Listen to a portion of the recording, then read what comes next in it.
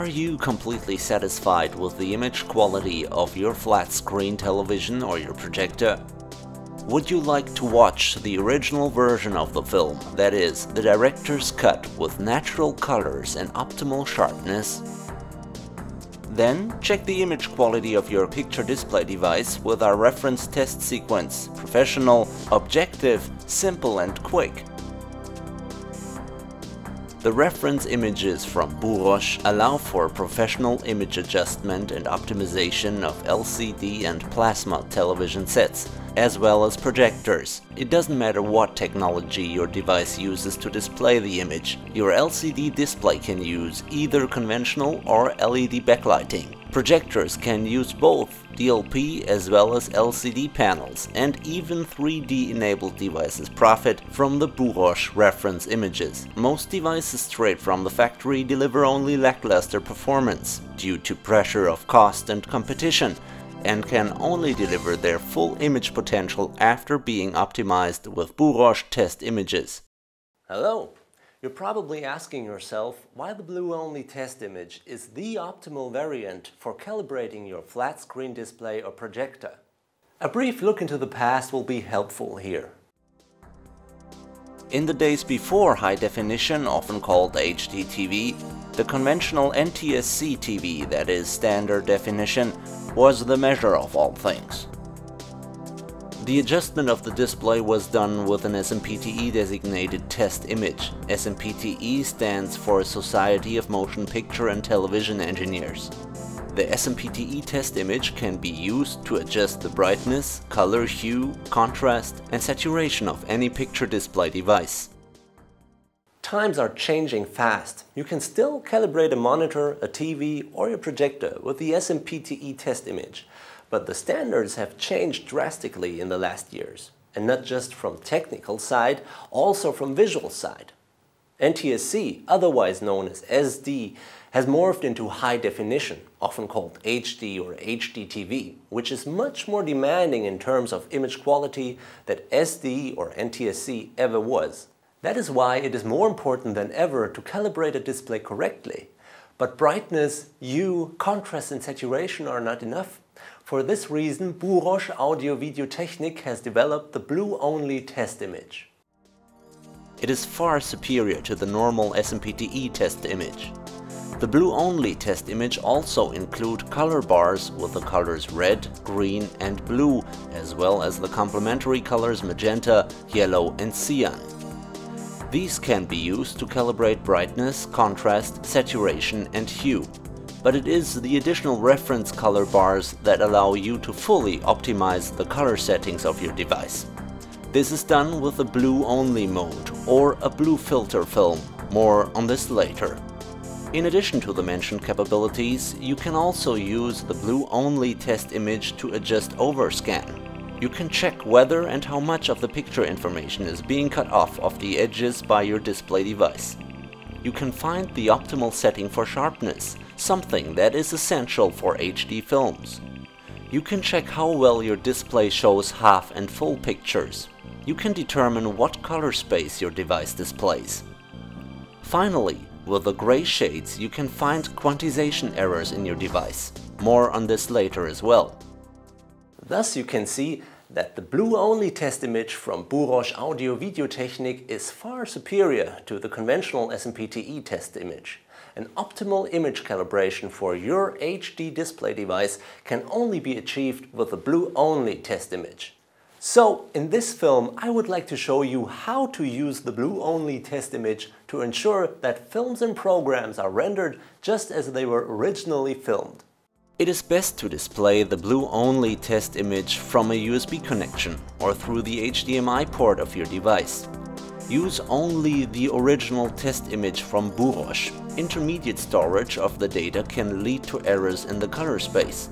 This would doom all calibrations to failure from the beginning. For optimal image calibration it is essential to observe the following points. The display must be tested in a darkened room.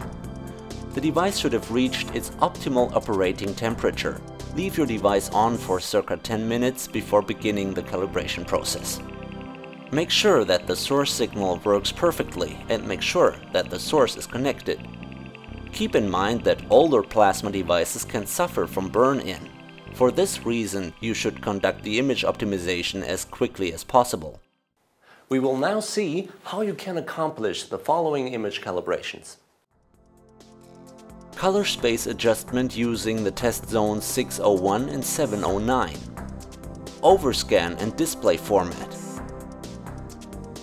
Brightness. Contrast. Color saturation. Hue. Sharpness. Display of half pictures and progressive images quantization errors. The complete technical documentation for the blue-only test image can be found at our website www.burosch.com.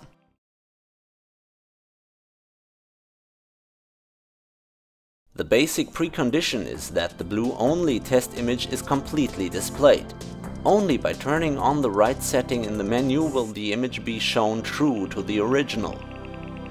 The overscan mode of the device must be set so that the white triangles at the edges are completely visible. Only an undistorted display will show the image content as it is in the original. Information at the edge of the image, such as the news ticker, can be shown in full. In this way you can avoid incorrect display because of a wrong zoom setting on your television. This important calibration can only be done with the blue-only test image from Burosch. Depending on the make of your device, the same function is given different names, pixel to pixel, format or size, overscan on or off, just to name a few.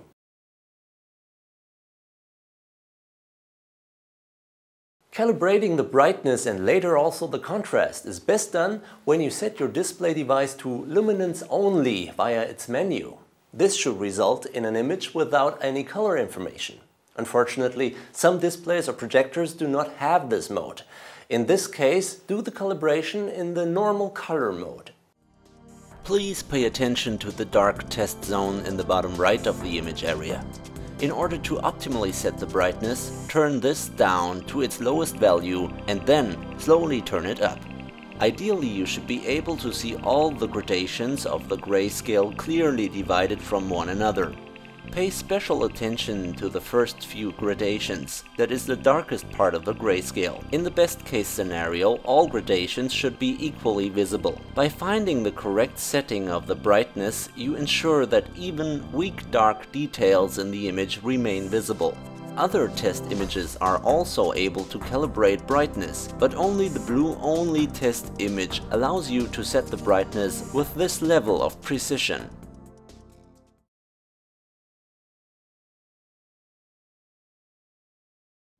Next you should set the contrast range. To do so, please turn your attention to the bright test area in the bottom left corner of the image area. Turn the contrast setting of your television all the way down and slowly turn it up again. As soon as you can distinguish all the gradations of the grayscale, the contrast is set correctly. By correctly setting the contrast range, you ensure that even the smallest image details in bright areas remain visible and don't get washed out. Here too, the blue-only test image shows its advantages over the SMPTE test image in the precision of the contrast range setting. Vary the brightness and contrast settings once again until you can see as many of the grayscale steps as possible. Being able to see the darkest as well as the brightest steps is especially important for the perfect display calibration.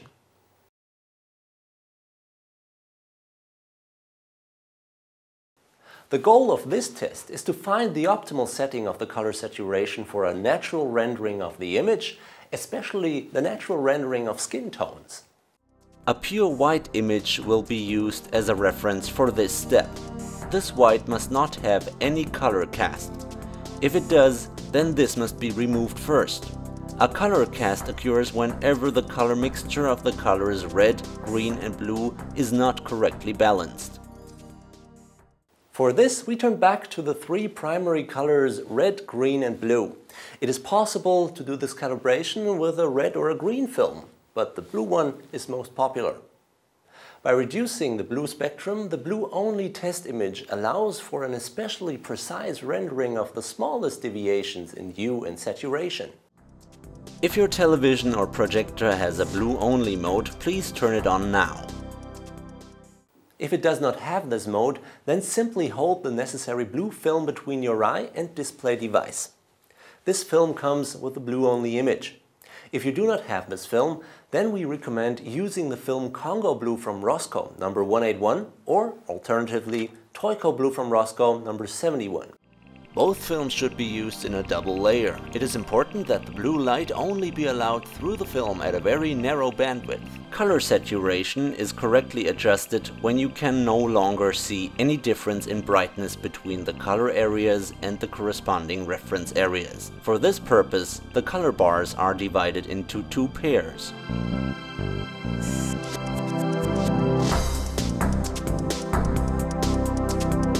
The saturation is incorrectly adjusted when you can see a considerable difference between the color bars and the areas above and below.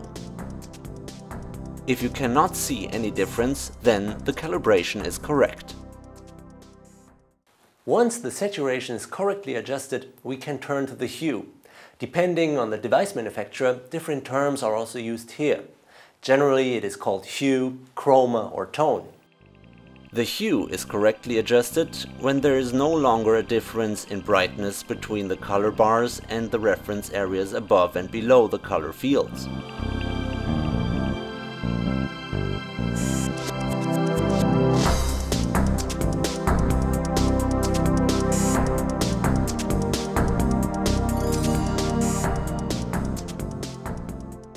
Brightness, contrast and color values are now perfectly adjusted. You can now exit the blue only mode or put the film down.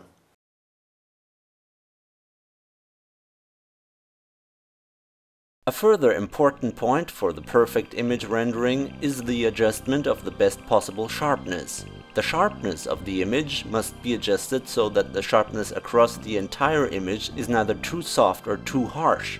This can be accomplished with the crosshairs at the left of the image. The black and white lines must be clearly distinguished from the background, but not display any negative double shadows or halos. For HD television and projectors, the optimal sharpness is essential for the perfect image. After all, high definition was designed to do just that, deliver razor sharp images.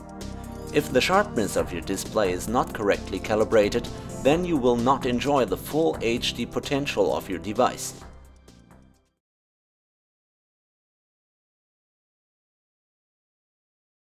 These two small, light-colored test areas at the edge of the image serve to test whether the image display occurs to the limited normal range of the color space or to the full range. These are the test zones 601 and 709. Colors that are represented by a display or projector are made up of various combinations of the primary colors red, green and blue. The primary colors can each assume RGB value between 0 and 255 and thereby change the colors that are to be displayed by the mixing ratio. The normal range color space only shows color mixtures that correspond to the RGB value 16 to 235 while the full range color space can display all mixtures from 0 to 255. The blue-only test image is conceived for the full range RGB color space of 0 to 255. Therefore, this mode should be activated on your device to optimize the image. To determine how to change the color space of your device, please refer to your owner's manual. To determine the current setting of your device, please display the blue-only test image via a USB stick if your display device has a USB input. Please turn the color control down so that your device only displays black and white. Ideally, you should only see three individual color bars on the left side, while on the right you will see a homogeneous field. If this is the case, then your display is working in the optimal RGB color space of 0 to 255. Should however a homogeneous field appear on both sides, then your display is working in the limited color space of 16 to 235.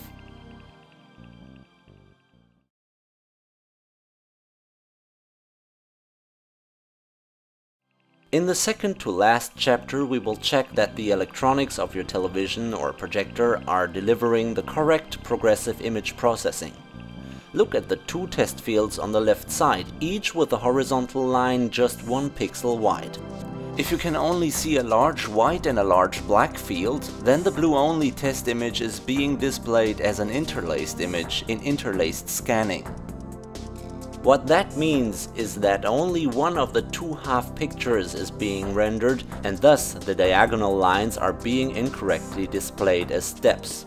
In progressive scanning, the black and white lines in these two test fields can be seen separately from one another progressive rendering should be the goal and always delivers the better image.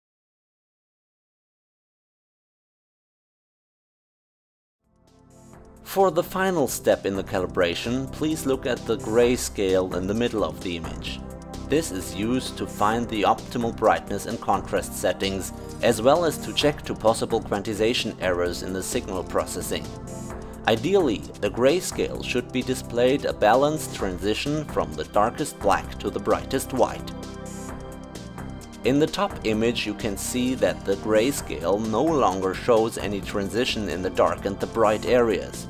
In the middle image, strong quantization errors can be seen. There's no more transition, but steps. The bottom grayscale in contrast shows an optimal transition completely free of quantization errors.